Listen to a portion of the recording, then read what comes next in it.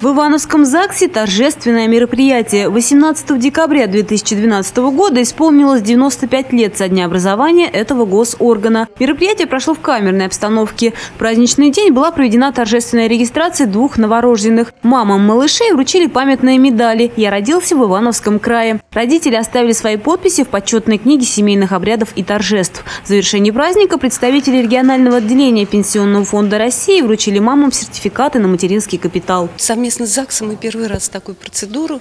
Ну, я думаю, в дальнейшем, я думаю, что мы такое сотрудничество с ними продолжим. Семейным капиталом у нас воспользовались 8700.